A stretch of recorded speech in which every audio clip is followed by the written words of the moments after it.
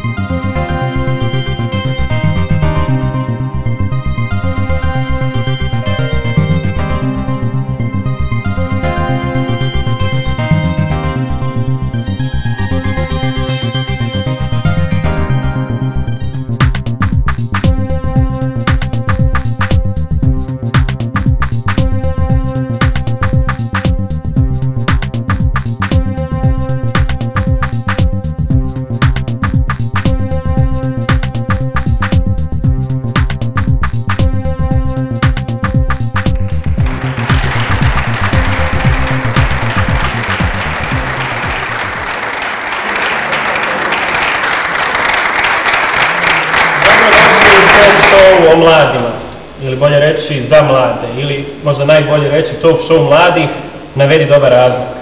Kada već spominjem mlade, mi ovdje zapravo govorimo o mladima koji imaju jednu zajedničku karakteristiku, dakle riječ o ljudima koji sticajem okolnosti imaju od 14 do 30 godina. I takvih je u Bosni i Hercegovini negdje oko četvrtina populacije, dakle 25% svih stanovnika upravo su mladi. Šta se dogodi ako u jednu prostoriju recimo evo u Akademiju likovnih umjetnosti u Amfiteatar, dovedemo 30 mladih iz različitih gradova Bosne i Hercegovine. Oni počnu debatirati, iznositi svoje mišljenje, svoje stavove, razložno govoriti, navoditi dobre razloge i argumente o različitim temama. A to nije naučno-fantastična emisija, već TV Talk Show mladih navedi dobar razlog. U organizaciji Soruš debatnog programa Fondacije za kreativni razvoj i federalne televizije, a sve to omogućila je Švicarska agencija za razvoj i saradnju i nezavisni biro za humanitarna pitanja. Već smo rekli da je riječ o debati, imamo neku vrstu debatiranja, što samim tim znači imamo i dvije strane. One jesu suprotstavljene, ali bolje bi re, mogli reći da je u stvari a, to gledanje iz dva ugla, dvije perspektive o jednoj istoj temi. No, zato nam trebaju debatanti. Mi ih imamo ovdje i sa nama su u afirmacijskoj ekipi pet osoba. To su Vedran iz pete gimnazije Sarajevo, Sanja iz gimnazije Srpska Iliđa, Mirza iz gimnazije Gradačac, te Nedim univerzitet u Sarajevu. Jedan pjesak za njih.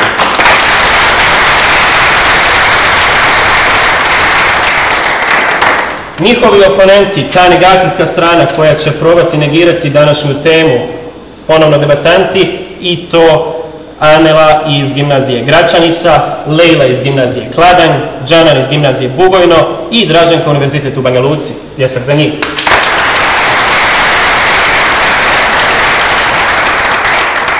Osim debatanata, obje ekipe pojačane su i sa specijalnim dodatnim gostima. U ovoj afirmacijskoj trebao je da bude gost iz asocijacije mladih SDA, no kako su nam rekli, odnosno gospodin Mujo Rankić, stručni saradnik za predizbornu kampanju, e, zbog predizbornih aktivnosti ne mogu dakle danas učestvovati u našoj TV emisiji, ali zato imamo i drugoga gosta, riječ je o Damiru Mašiću, predsjedniku foruma mladih SDP-a i poslaniku u federalnom parlamentu, pa je u pjesak za njih.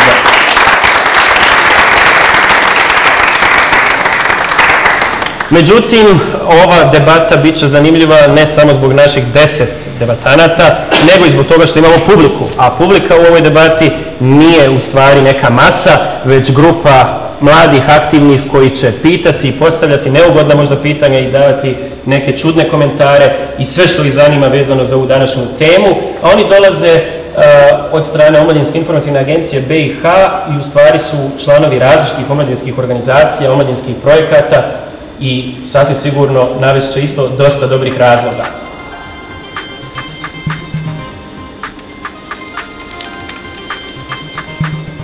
Dragi Mike, pišem ti u tranšeji rata koji još uvijek traje, a da ne znam ni zašto sam ovdje, ni kada odlazim. Ovako počinje pismo američkog vojnika Majka Preissnera, redatelju Majklu Muru sa ratišta negdje u Iraku. Treba li Bosna i Hercegovina poslati svoje vojnike u Irak? Aktuelna tema, vjerovatno, ali zahtjeva jako, jako puno dobrih razloga. Afirmacija, izvolite.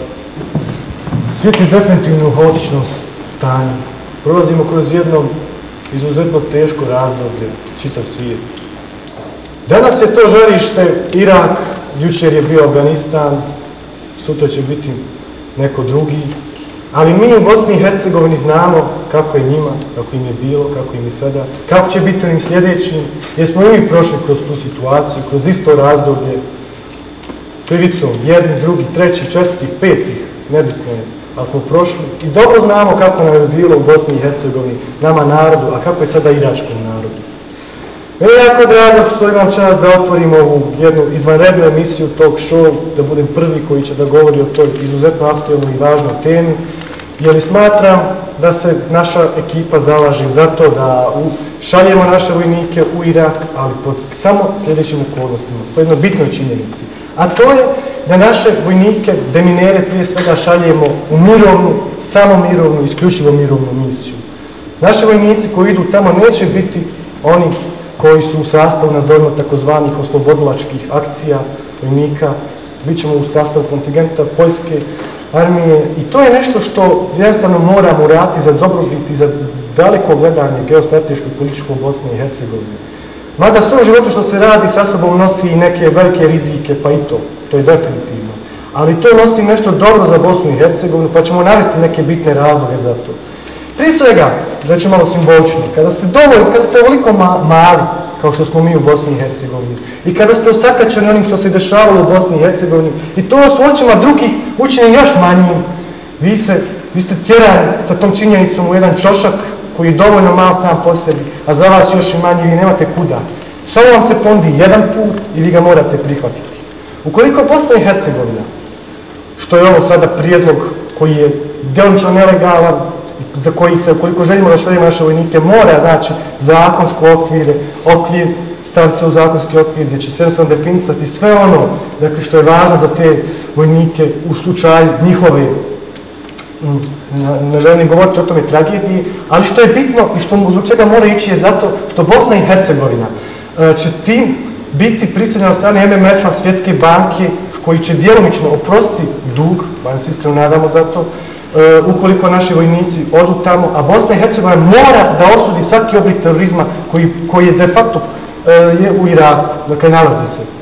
U Irak je opkoljen dakle, samim terorizmom, mi moramo dati, jer je bitna činjenica da Bosna i Hercegovina i predsjedništvo nije dalo uh, jedan javan stav za onu tragediju koja je nedavno zadesila eh, uh, Osjetiju, dakle sad kompletnu Rusiju i moramo sprati ljagu s tog imena.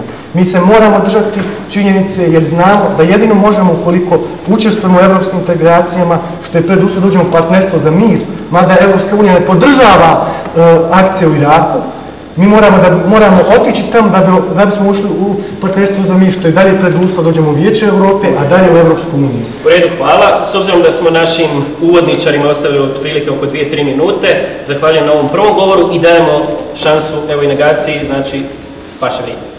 Ja sam Anela Gazbegović, dolazim iz Gračanice i naravno prije svega želim da pozdravim sve prisutne, a naravno i također da pohvalim ovaj prvog člana suprotne ekipe na jako izvanrednom govoru i ovaj, naravno moja ekipa i ja Prije svega, mi se slažemo sa ovaj izjavom radije pod točkove aviona nego u Irak, kao što je to rekao i poznati političar Sanad Avdić.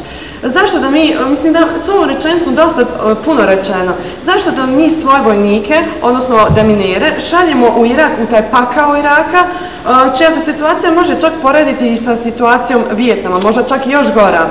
I zašto da ih šaljemo kad su oni nama potrebni ovdje? Zar mi nemamo dovoljno minskih polja koji nisu očišćeni? Njihovo angažovanje je potrebno ovdje, da oni čiste našu, ovaj, e, rašišćavaju ta minska polja kako bi mi imali sigurniju i bolju budućnost. Znači, prvo trebamo da se pozavimo o sebi, pa onda da pomažemo drugima u tim ovaj, mirovnim misijama. I naravno, poznato nam je da svi ovaj, članovi, pripadnici ovaj, e, internacionalnih ovaj, e, trupa u Iraku su pod metom terorističkih napada. Naravno, to ne isključuje ni nas Bosnu, ne, niti oni koji, ovaj, e, recimo, to što je musliman, ne znači da on neće biti isključen iz toga, jer pobunjenici ne razlikuju ovaj, nikog, i samo ono koji onaj koji ide protiv njih i koji ulazi u njihovu zemlju i ovaj radi nešto što njima ne odgovara. I kao krajnji razlog ovaj slanje naših vojnika odnosno deminera u Irak je ovaj kao pogubno za našu reprodukciju. Mislim, većina tih ovaj, e, deminera predstavljaju muškarci, što je logično. I ovaj, e, naravno, dešavaju se nesretni slučajevi, zbog e, čega se još više smanjuje ovaj, muška populacija u našoj državi, što, što, što vam prije rekla, otežava ovaj, reprodukciju u našoj državi. Dovoljno što smo izgubili ovaj, puno građana u minulom ratu, zašto trebamo to ponovo istu grešku ponavljati? U redu, hvala i vama. Dobro, ovo su nam bili uvodi samo, a ono što sada slijedi u stvari ja mislim, najzanimljiviji trenutak. Dakle, otvaramo sada za sve ovdje da daju već neke prve komentare ili postaje pitanje za naše prve dvije osobe koje su učestvovale a, u ovome uvodu. Da vidimo, imamo već par ruku. Evo, krenut ćemo upravo sa Džananom, znači, možete poznati pitanje. Ovako pitanje za Vedrana. E, rekli ste da se nadate da ako naši vojnici odu u mirovnu misiju u Irak, da će im biti, ne znam, oprošteni dugovi od svjetske banke. Rekste, ponavljam, rekste da se nadate. Možete li mi, molim vas, reći dokaz u kojem svjetska banka obećava da će oprostiti dugove, dakle, za uh, slanje naših vojnika u Irak? Ovako, prije svega moram istaći da za sve u životu uvijek postoji ta nada. Situacija je jako, jako teška. Bosna i Hercegovina se danas nalazi u izuzetno teškoj situaciji. Kao što sam već rekao u svom govoru, mi smo sretirali jedan put. Definitivno, dokazi postoje za to. Ja ih sada ne mogu ovdje iznositi da sam ograničen vremenom i ograničen temom, ali dokazi postoje da će MMF ili Svjetska banka, ukoliko Bosna i Hercegovina ne bude e, radila onako kao što to nalažu određene strane, e, da će doći do potencijalnog, kažem opet potencijalnog, dakle ništa nije sigurno obustavljanja tih sredstava e, finansiranja dakle, naše zemlje. Mi znamo kako se situacija nalazi. Dobro, redi me, pitanje. Dobro, ovo pitanje, odnosno komentar, e, prvo čini se da ne šaljemo 15.000 deminera u Irak da bi nam toliko oplala e, reprodukcijona moć. Druga stvar, e, glede ovoga što je pitao Džan, e, možda nemamo jasan dokaz da je Svjetska banka eksplicitno rekla da ćemo prostiti bilo kakve dugove, ali u svakom slučaju Te krupne financijske institucije, nažalost, jesu uglavnom servis uh, Sjedinja američkih država, a upravo Sjedinja američke države one koje mi hoćemo da zadovoljimo. To je to pitanje za agregaciju. Pa ništa, koliko u stvari ljudi mi šaljemo? E, mi u stvari šaljemo 36 ovaj deminera koji će nakon uh, njihov kao ta akcija trajaće 6 mjeseci. Posle toga novi 36 ovaj vojnika odnosno deminera dolazi. Leila. Eh, rekli ste eh, uh, i Hercegovci se saosećaju sa uh, ljudima u Iraku, znamo kako smo i mi se ginuli. Pa znači, ako smo ginuli dosad, hajmo i odsad, jel? Vidite, politika je svugdje oko nas. Politika nalaže neke propozicije koje u nekakvom laničkom gledanju prvom momentu, pa čak i u nekoj konačnici možda nekad nosi sa sobom neku, neku situaciju koja nije, nije adekvatna i nije e, mišljenje dakle, svih građana i nešto što sa sobom nosi nešto loše. Ali to je sve u svrhu i, i servis nečega što treba da, gledajući dugoročno, da bude dobro za jednu širu masu, to jeste za Bosnu i Hercegovinu. Trebamo dobro sagledati šta Bosna i Hercegovina gubi slanje vojnika, a šta dobiva dakle, slanje vojnika u nekom daljem periodu. I kada se te dvije strane e, na tasu to dobro izvaga, onda treba dobro diskutovati da li treba slati ili ne. Šta gubi, šta dobro, da imamo od publike, koje pitanje ili komentar u stvari? Nemamo još, bit će. Uh, Damir, izvolite. Pa ovako, kolega iz afirmacijske ekipe je rekao par teza koji će vam morati komentarisati. Prvo, mi u Bosni i Hercegovini, vi ste rekli da smo mi mali, ja se ne bi složio, mi nismo definitivno mali. U Bosni i Hercegovini imamo otprilike između 3,5 i 4 miliona stavnika, kao i mnoge zemlje u okruženju, pa čak i zemlje Evropskoj uniji. E, rekli ste da se nudi jedan put kojim se mora ići, također na istim se ne bi složio, ni jednim se putem ne mora ići, nego se ide putem oni za koga se mi opredijelimo. E, treća stvar, rekli ste da smo mi prisiljeni od Svjetske banke MMF-a da to radimo, to apsolutno nije tačno. Tačno je da, svjetska, da Sjedinjene američke države učestvuju, da tako kažem, u finansiranju i u pletnoj Svjetskoj banci sa preko 90%, ali Svjetska banka i MMF nikakve veze s Irakom nemaju i sa svim, da tako kažem, tim ratnim poprištima. Oni dolaze kasnije kad trebaju da se obnavljaju određena područja i tako dalje. I četvrta, onako malo, da tako kažem, najteža kvalifikacija je bila da je uslov naš odlazak u Irak, je to uslov da mi uđemo u partnerstvo za mir, ovaj, da tako kažem, da, da, da nas NATO podrži. To veze s vezom, zaista ne, ja to moram tako reći, jer nikakav uslov za ulazak u partnerstvo za mir, tačno su definisani uslovi za ulazak u partnerstvo za mir i uglavnom eh, većina zemalja članica NATO-a, najstarijih zemalja članica, apsolutno ne, ne podržava ono što se radi u Iraku i NATO nema nikakav mandat u Iraku, znači u Iraku su samo Sjedinje američke države i ona koalicija koje su one stvorili. A koja je koalicija? Imali smo priliku u filmu Michaela Moore da vidimo koliko je to jaka koalicija. Ja smatram da sam izveći to rekao da što se tiče samog MMF-a i da mi nismo javno, niti, kada, niti je to moguće da budemo javno od tako jedne značajne institucije E, uslovljeni time, jer MMF znamo, kao što ste upravo vi sami malo prije rekli, nema apsolutno nikakve veze sa tim vojnim poprištima, ono, gledajući iz jedne apsolutno na prvi pogled perspektive, ali ako pogledamo sve to dublje, sam ste vi malo prije rekli da je sve to vezano od Amerike. Ko danas čini najveći budžet, dakle, samog MMF-a? Amerika je ta koja danas je, tijeli mi to priznati ili ne, svjetski policajac, koji drži taj balans u svijetu. Zna da zvuči možda kontraproduktivno i ono što ja sad govorim, ali to nećemo se vjerovatno, većina nas se ovdje ne slaže sa samom politikom toga, ali mi smo ograničeni jednom temu gdje gledamo, gledamo dugoročno e, šta Bosna i Hercegovina tim dobiva, šta gubi. U redu. Mislim da je vrijeme za, imamo naravno dosta ljudi koji žele da postaje pitanje, za zvanične ove druge govore, dakle, još dobrih razloga, krećemo sa afirmacijom Sanja Zvona. Pa ovako, mislim, moto pod kojim se lično ja vladam, a mislim da i Bosna i Hercegovina treba isto tako da se vlada, je pomozimo drugima da bi očekivali pomoć. Mislim, navikli smo da se petljaju u rešavanje problema. Bosna i Hercegovina trenutno e, nije u mogućnosti da sama e, riješi problem ukoliko dođe do nekog terorističkog napada, ukoliko dođe do nekih organizovanih, e, ne znam, organ, da riješi problem organizovanog kriminala u Bosni i Hercegovini, nekih pobuna, bilo šta. Ovako, što se tiče tih, opet se osvrćem na N, ovaj, koleginicu iz N tima, da ovaj, što se tiče tih deminera koji bi otišli, ona je isto tako rekla i slažem se, znači tu je 36 ovaj, ljudi koji bi išli tamo. Moramo naglasiti da su to ljudi dobrovoljci, volonteri, oni su se sami javili e, i ovaj, da žele da idu tamo i da ovaj, rade, to su profesionalci. Oni ne bi bili uzeti sa ulice, sa fakulteta, iz škole, sa posla da kaže se idite u Irak radite posao. Ne, to su profesionalci koji su obučeni za to, koji su radili na tom poslu i svjesni su, svjesni su opasnosti koja ih tamo čeka i zato ovaj, znači zašto ih ne pustiti da odu. U redu, hvala i imamo naravno da čujemo i drugu stranu, odmah e, vaše vrijeme, Lena, izvolite. Savet bezbjednosti je tijelo u okviru jedinih nacija koje je jedino relevantno da daje mandat za ratove, patnje, situacije slično tome. I ovo tijelo kao takvu strogo, a počiva na međunarodnom pravu, strogo osuđuje ovo što Amerika radi u Iraku. Prema tome, slanje vojnika u Irak je moguće legalno izvesti samo pod mandatom Ujedinjenih nacija, a Ujedinjene nacije osuđuju ovo što Amerika radi u Iraku. Prema tome, slanje bosansko-hercegovačkih vojnika u Irak, bez obzira išli oni na bojište, išli oni kao deminiri, je nelegalno. E, uh, Bosna i Hercegovina je članica Ujedinjenih nacija, uveliko zavisno od Ujedinjenih nacija. Koleginica je rekla kako mi ne možemo uh, sami se snalaziti u različitim situacijama. Da, zato se mi približavamo Evropskoj uniji, a Ujedinjene nacije su nam uh, i više nego potrebne za to. Dakle, svako slanje mirovnih, e, svako slanje vojnika u mirovnu misiju treba da bude u skladu sa odlukama e, koje kažu Ujedinjene nacije.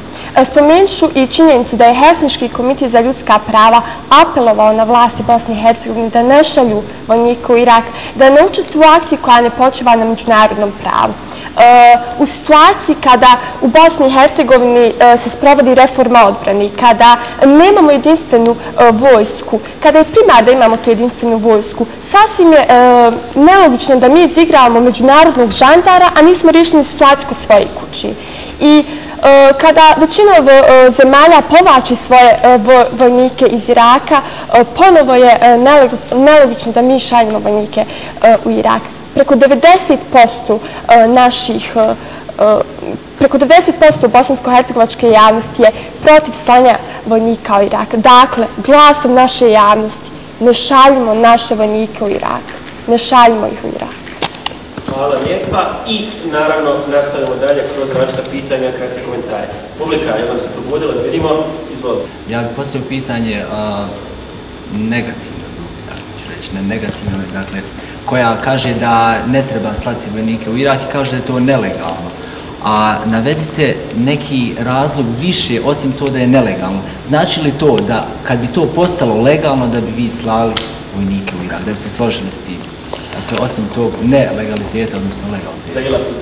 E, naš, e, dakle, e, mi prije svega trebamo da šaljemo naše vojnike u mirovnu misiju koju opravdava Ujedinje nacije. Ujedinje nacije ne mogu to opravdati, nema šanse da to opravdaju jer to ne počeva na jednom međunarodnom pravu. Ne mogu oni preko noć promijeniti svoju situaciju u Iraku.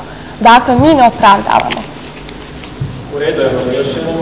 Je li to bila replika Evo ipak, stara replika. Uh, moram dati repliku zato što ovaj, sad sam ja pitao za legalitet, a ona onda spominje Ujedinjene nacije, a uopšte Ujedinjene nacije ne donosi zakon u Bosni i Hercegovini, molim vas lijepo. Savjet bezbjednosti. Bez obzira, mi imamo suverenitet, mi donosimo zakon. Ovdje je riječ o savjetu bezbjednosti. Da li će savjet bezbjednosti neki rat, neki napad, da li će on dati mandat za to? A mi idemo u misiju samo ukoliko je to počela na međunarodnom pravu bez obzira na to legalno znači da donosimo zakon u svojoj zemlji u NMN.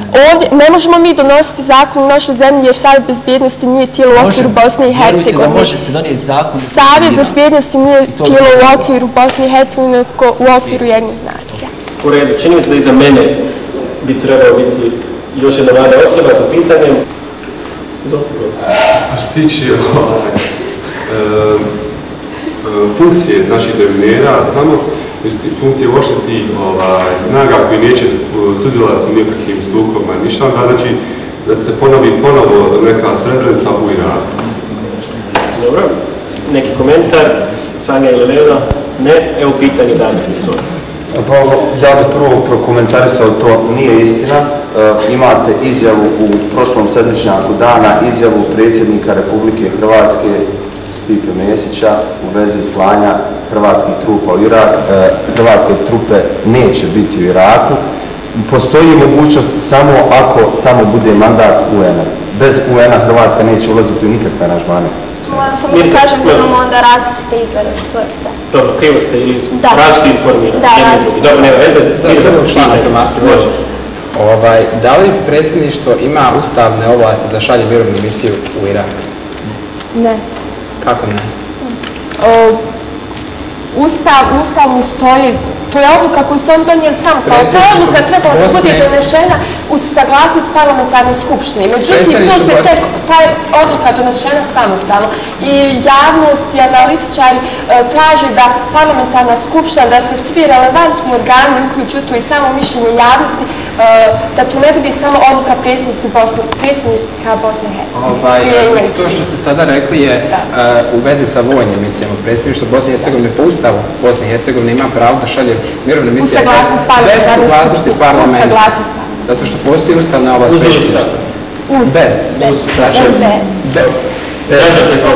Kako su oni definisali taj proces e, tih ljudi deminira što će slati u Irak, da li će posebno se oni ova, biti učeni za to, za razliku od ovih ovdje bosansko-hercegovačkih deminira, e, koliko će njih biti ovdje, koliko njih ide u Irak, pošto ovdje ima jako dosta minskih polja, imamo reklame na televiziji, pas čovjek i tako, mislim, da, pošto ispada, uvijek u reklamu ispada čovjek, pas pametnijeg čovjeka, pa da vidimo kako.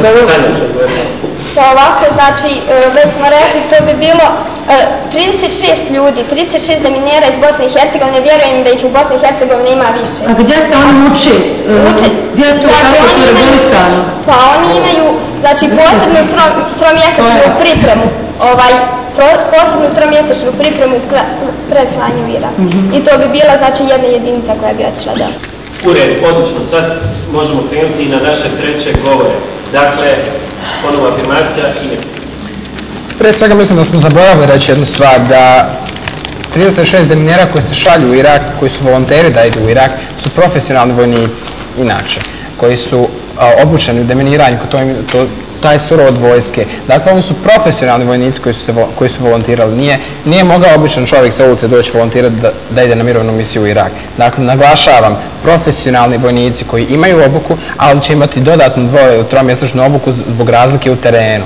Um, Dalje, drugi član afirmacijske ekipe je govorio o tome kako 90% bosansko-hercegovačke javnosti ne želi slati vojnike u Irak. E, niste nam naveli izvor vašeg dokaza, niste navili odakle to, e, barem po mom koliko ja to znam ili koliko naša ekipa je toga svjesna, postoji jedna peticija koja je ne znam, mislim, u toku potpisivanja koji je potpisalo minimalan broj od 5000 ljudi u cijeloj BiH, što ne predstavlja velik, velik procenat stanovništva Bosne i Hercegovine.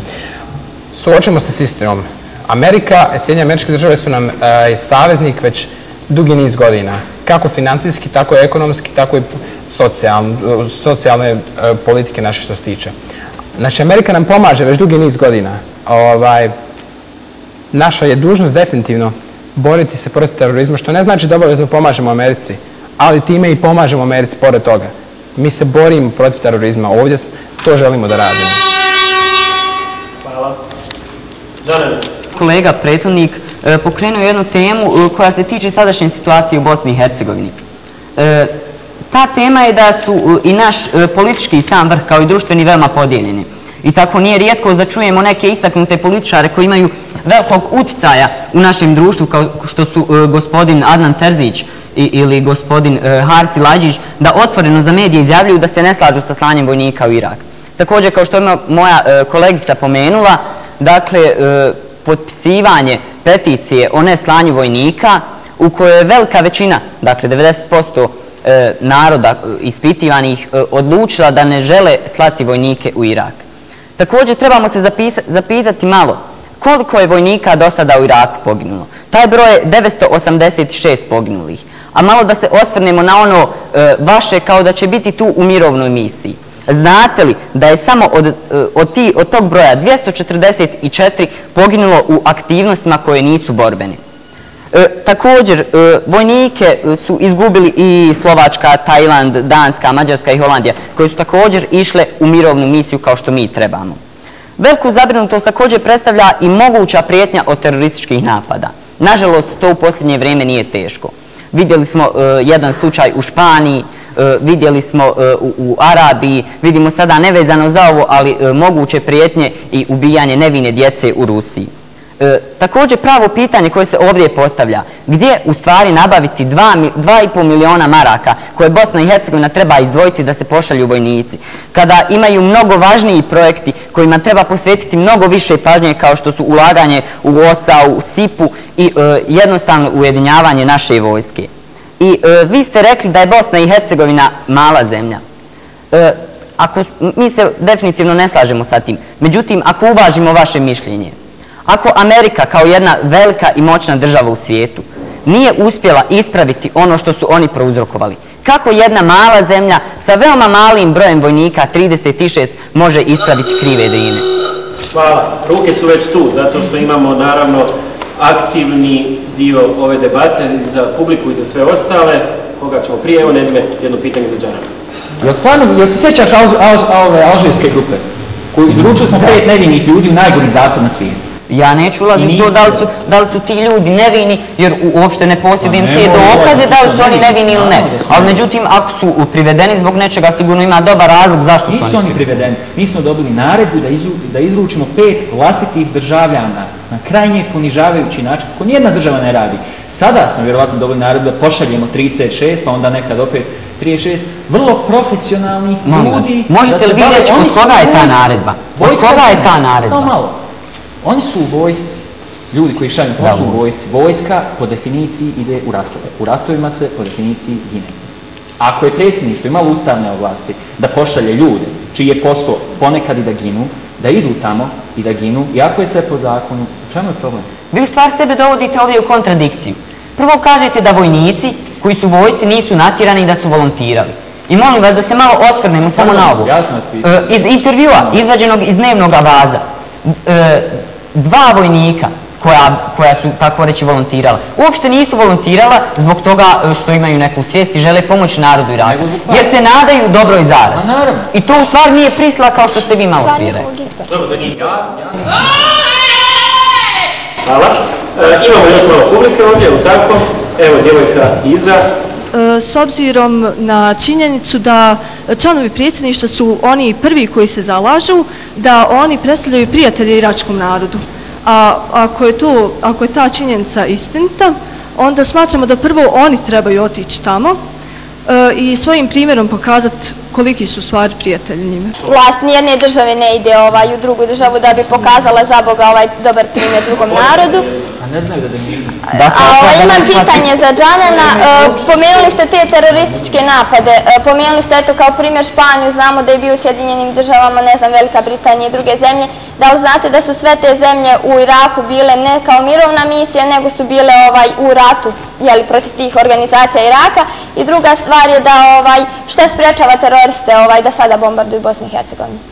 Ko ih sprečava? Oni to mogu sada... Ne sprečava ništa, ali, ali u stvari mi ne bismo doprinijeli odlaskom u Irak da nas ne napadnu, nego, nego bismo doprinijeli da nas u stvari napadnu. Pa mi o tome možemo samo da špekulišemo. Jer nemamo... Tašan završak. Prije svega samo moram dati repliku. Podatak je preuzet iz dnevnika Vaza. Evo, dnevni javaz, dobro. Da. A, da li jedan terorist Da li jedan terorista razlikuje vojnika koji ide u mirovnu misiju, misiju i vojnika koji ide na bojište? Ne vjerujem da razlikuje jedan terorist, ovaj, zato... Dakle, zato, zato šaljemo vojnike dakle, tamo. Dakle, koliko pošaljemo vojnike prijeti opasnost. Čujte, pa zato je šaljemo vojnike u jednu zemlju gdje, ima, gdje postoje teroristi. Da, da bi i mi dobili opasnost od terorističkih napada. Na koji način? Pa ako pošaljemo naše vojnike u, u, u misiju Irak, sami ti ne imamo Pitanje je da li treba, da li, da li, da li treba Da, ali imamo nešto kao protureakciju što se javlja.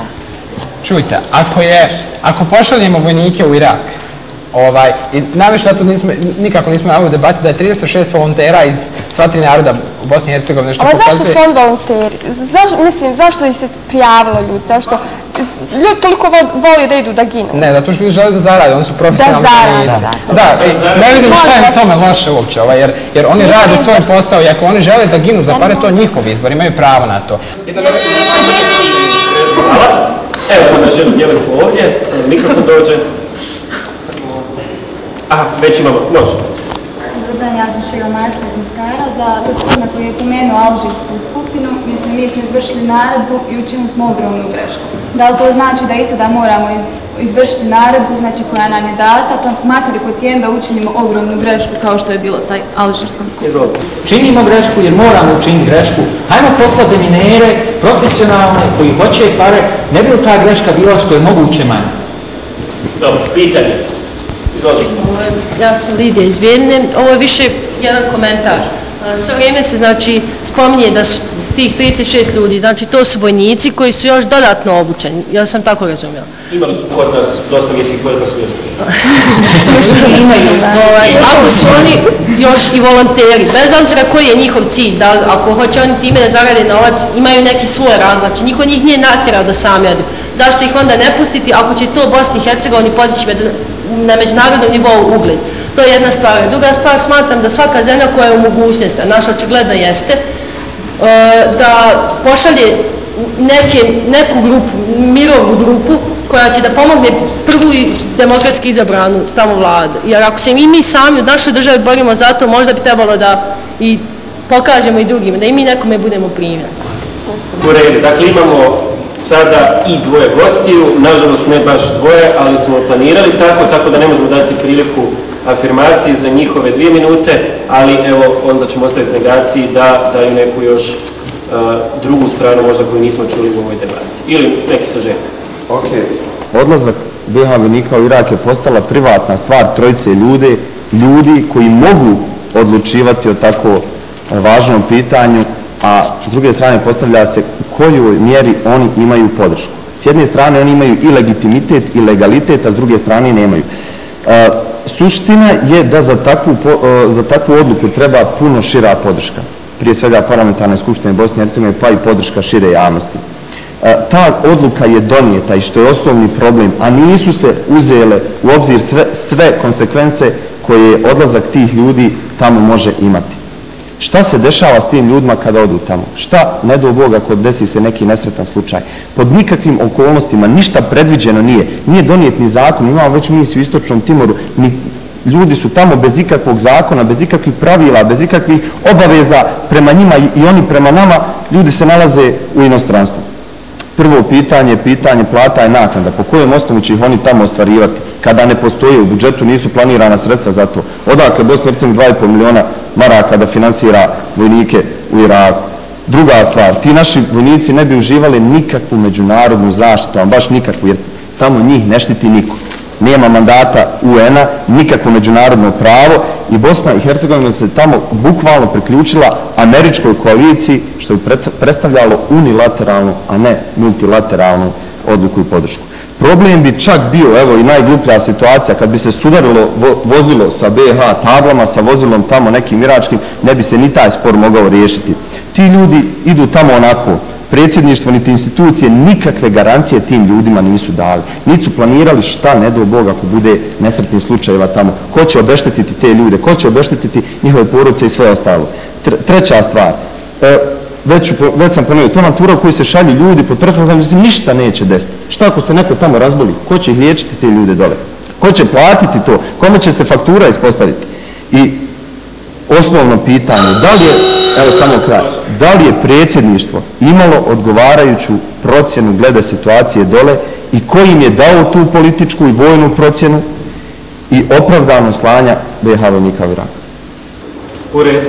Hvala. Dakle, ponovo zadnja runda u nakresnog ispitivanja, svi protiv svih. Imamo, evo Sanja, za Pa onako, sam, e, znači samo jedan komentar, pomenuli ste te garancije, ko će dati garancije tim ljudima.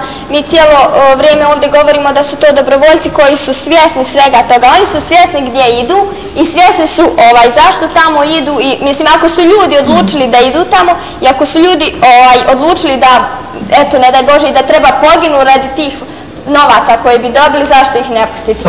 A druga stvar, eto samo ovaj, e, da Bosna i Hercegovina, to jeste ta mirovna misija ne bi bila sama, mislim imamo informaciju, ona bi bila u skopu garnizona Poljske, koja opet slaže se, kako ste rekli, su sa Samo jedna informacija, formulare, formulare koji su ti vojnici svi zainteresirani za odlazak u Irak iz bosansko-hercegovačke vojske, iz njenih komponenti koji su popunjavali u tom formularu, nije stojalo da oni slažu se s tim da idu u Irak, nego da idu pod patronat UN-a i u misije UN-a. To možete provjeriti. Pitanje za mene, je li tako?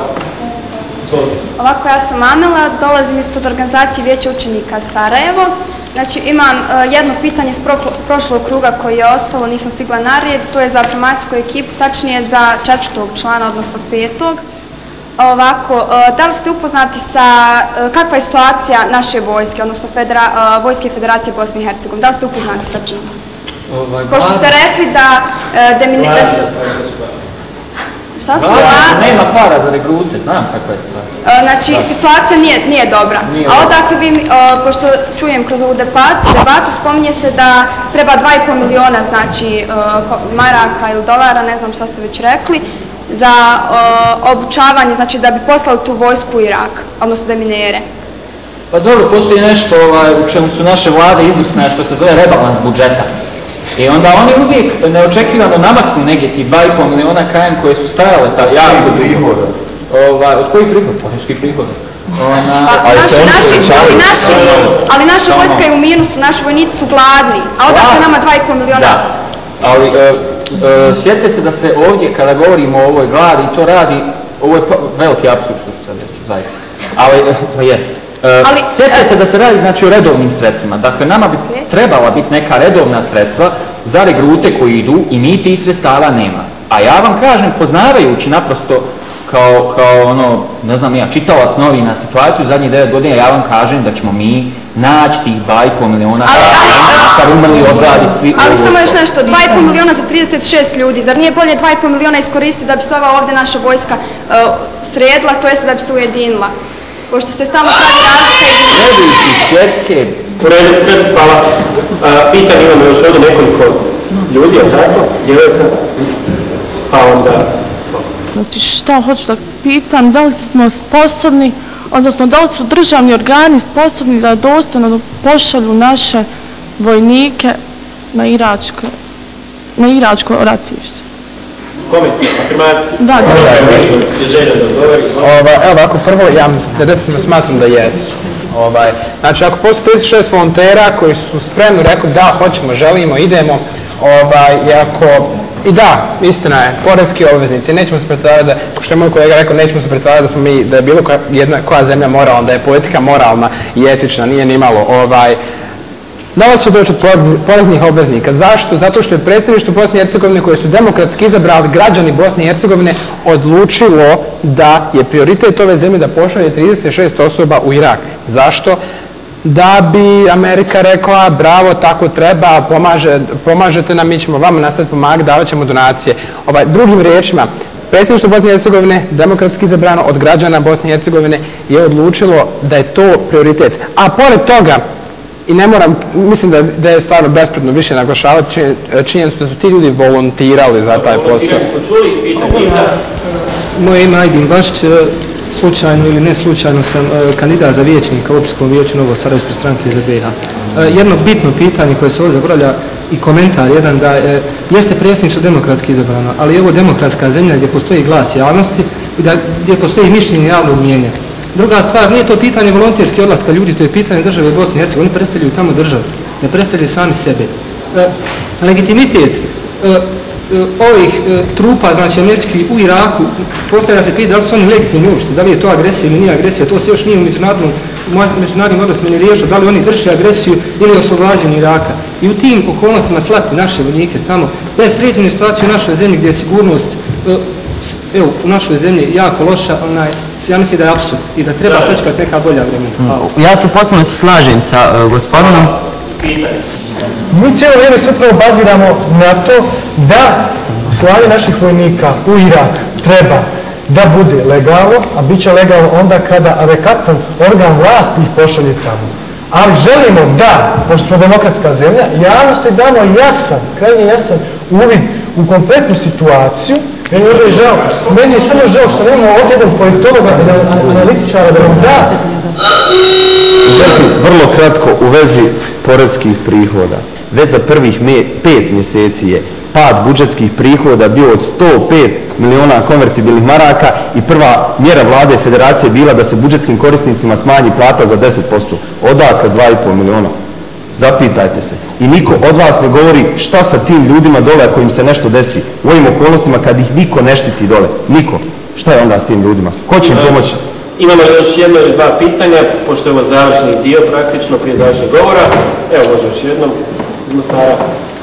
Ne znam, vi stalno pričate o legalitetu, o legitimitetu, pa na kraju krajeva govorite o budžetu, ko će finansirati sve to. Ljudi moji, ljudi koji su to odlučili, oni znaju i već je određeno kako slati i na koji način. Već je to regulisano, to ne treba pitati, nego je sad, ja poslije jedno drugo pitanje, jer stano se vrtimo u krug. Hajde da posljedimo pitanje ko će odgovarati za njih dolje kada odu. Jednim, jednim dijelom to je postavio gospodin Damir, ali ovaj, da, da vidimo, dakle, evo, afirmacijska ekipa neka kaže, ko garantuje za njihovu sigurnost, za sve što prati, dakle, za njihovu odlazak u moćne poljske armije koja nije dobila rat već 300 godina.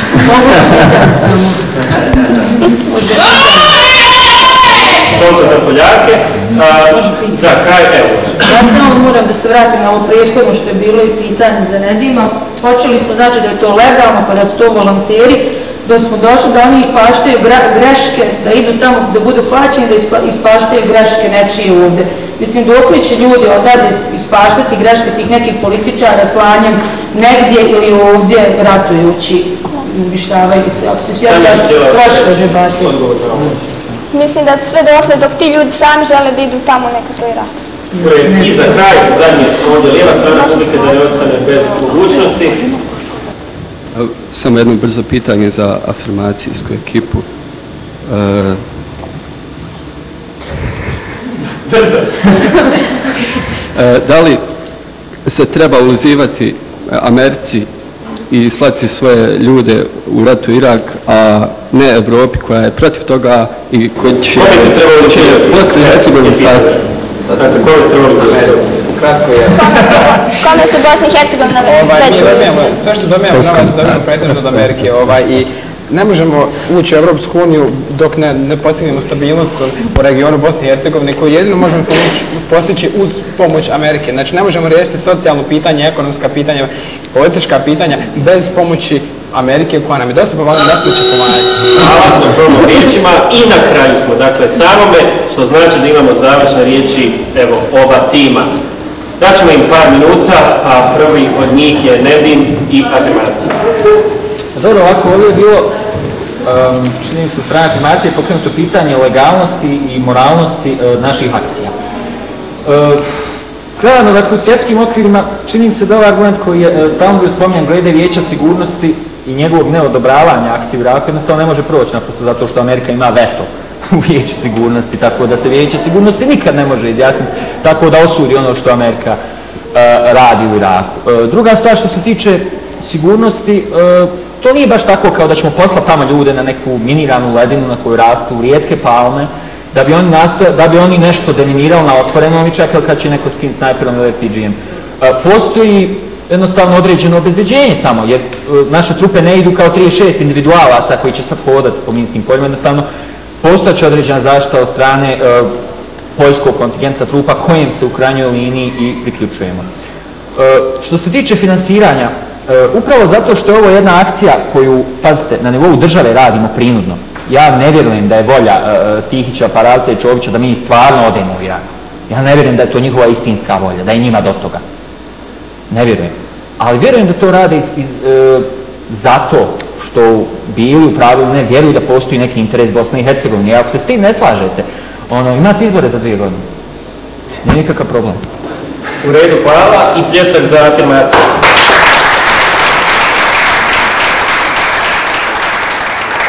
Ostaje nam još jedna završna riječ, dakle, negacija i Dražana.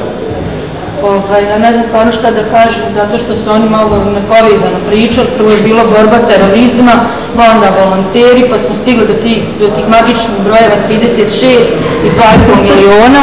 Znači, da li trebamo da dajemo, ja koliko sam shvatila, 2,5 miliona da bi se 36 ljudi profesionalno, već vojnici, kako sam ja shvatila, obučili za tu ovaj, deminiranje i poslali u Irak, a na primjer ovdje ljudi besplatno to rade, uopšte i ginu i niko, na primjer porodici invalida ili koji ostanu ljudi koji poginu, izgube život, niko za njih ne brini. Znači, šaljemo ljude, ulažemo 2,5 miliona koji će ići tamo ginuti, a ovdje ljudi koji brani naše živote, živote svoje djece i tuđe djece i ostalog stanovništva, ostaju uskraćeni izašta. Znači, žive na ivici, na rubu i tako. Hvala lijepa i pljesak.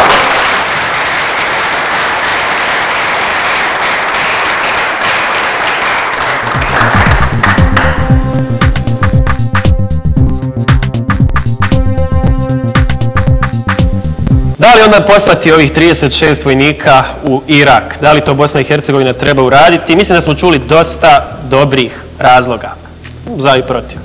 U svakom slučaju, s jedne strane govorili su nam o tome da je to obaveza Bosne i Hercegovine, da je to nešto što će donijeti korist, u ovom slučaju, kako bi rekla jedna osoba iz publike, jedna vrsta ulizivanja nekome, ali nešto što bi koristilo naravno cijeloj Bosni i Hercegovini. E, također smo čuli s te iste strane da je to e, odluka koju je donijelo predsjedništvo Bosne i Hercegovine, a ono ima ustavne ovlasti upravo da to uradi.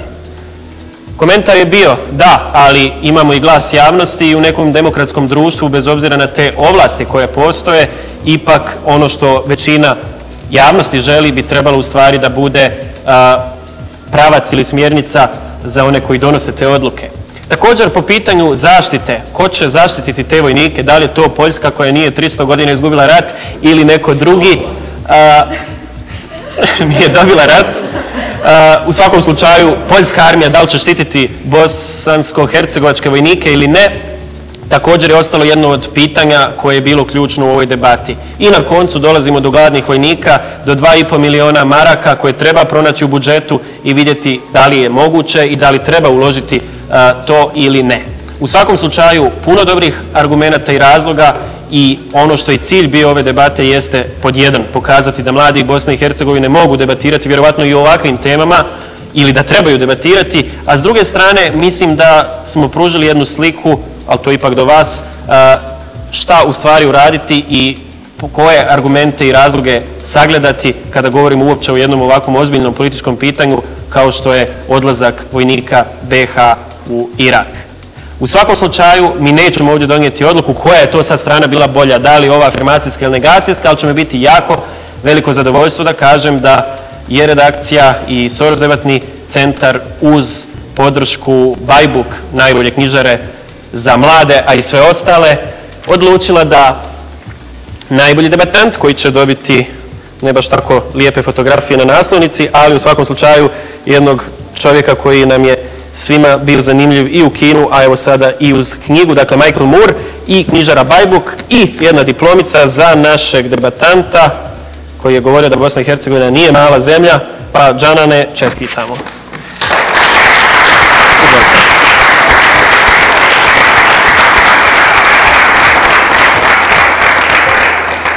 Za 15 dana ponovo debata i ponovo navodimo dobre razloge.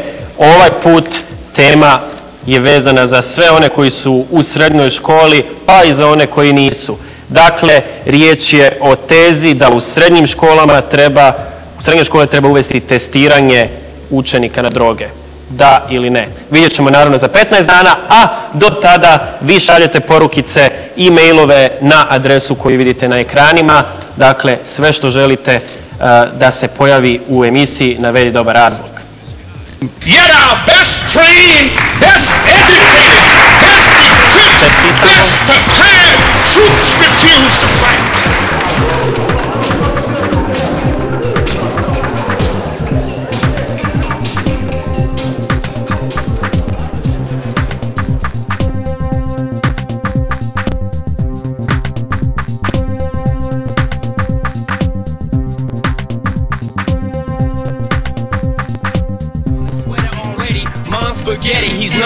But on the surface he looks calm and ready to drop bombs. But he keeps on forgetting what he wrote down. The whole crowd goes so loud, he opens his mouth, but the words won't come out. He's choking how? Everybody's choking now. The clock's run out, up, over, loud. Snap back to reality. Oh, there goes gravity. Oh, there goes gravity. Choke. He's so mad, but he won't give up. Daddies, he know he won't have it. He knows his whole back to these ropes. It don't matter. He's dope. He knows that, but he's broke. He's so stagnant. He knows when he goes back to this mobile home. That's when it's back to the lab again, yo. This old rhapsody better go capture this moment and hope it don't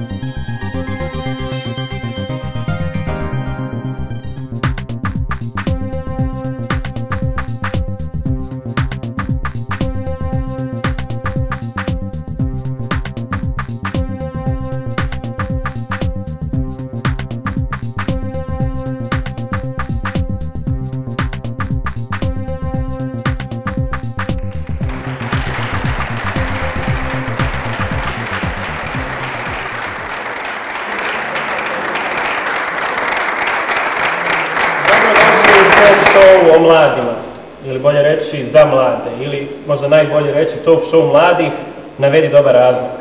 Kad već spominjem mlade, mi ovdje zapravo govorimo o mladima koji imaju jednu zajedničku karakteristiku, dakle riječ je o ljudima koji sticajem okolnosti imaju od 14 do 30 godina. I takvih je u Bosni i Hercegovini negdje oko četvrtina populacije, dakle 25% svih stanovnika upravo su mladi. Šta se dogodi ako u jednu prostoriju, recimo evo u Akademiju likovnih umjetnosti u amfiteatar, dovedemo 30 mladih iz različitih gradova Bosne i Hercegovine. Oni počnu debatirati, iznositi svoje mišljenje, svoje stavove, razložno govoriti, navoditi dobre razloge i argumente o različitim temama. A to nije naučno-fantastična emisija, već TV Talk Show mladih navedi dobar razlog.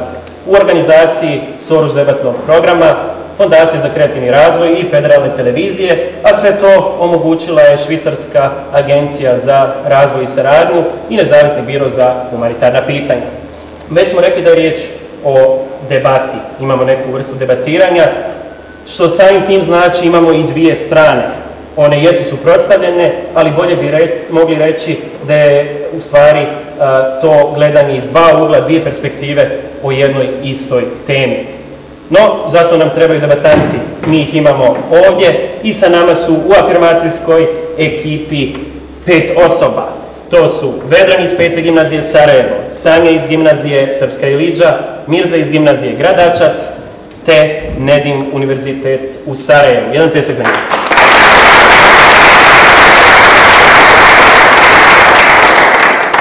Njihovi oponenti, ta negacijska strana koja će probati negirati današnju temu, ponovno debatanti, i to Anela iz gimnazije Gračanica, Lejla iz gimnazije Kladanj, Džanan iz gimnazije Bugojno i Draženka univerzitet u Banja Luci. Jesak za njih.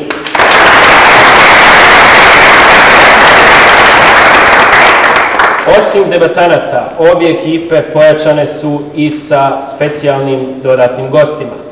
U ovoj afirmacijskoj trebao je da bude gost iz asocijacije mladih SDA, no kako su nam rekli, odnosno gospodin Mujo Rankić, stručni saradnik za predizbornu kampanju, e, zbog predizbornih aktivnosti ne mogu dakle danas učestvovati u našoj TV emisiji, ali zato imamo i drugoga gosta, riječ je